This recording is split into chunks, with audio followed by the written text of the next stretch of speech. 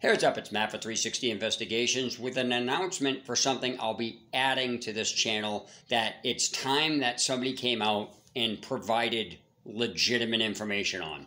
And that is survival stuff such as camping, hiking, gear, how to pack, and all this other stuff.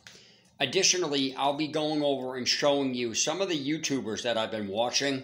The stuff that they're saying is out of control and it really needs to be corrected. And this is some known YouTubers for you know gear advice and stuff like that. So I just wanted to give an announcement that I'm going to be adding stuff to this channel. I'm going to be adding that element to this channel because again, it's time that somebody came out and put out real information because the stuff you're seeing on YouTube and a bunch of other places from these stores is just really beyond absurd. So stay tuned for that. I will be hopefully putting up my first video sometime tonight, maybe tomorrow or next few days, because this is really bothering me and I'm really itching to do this. So stay tuned.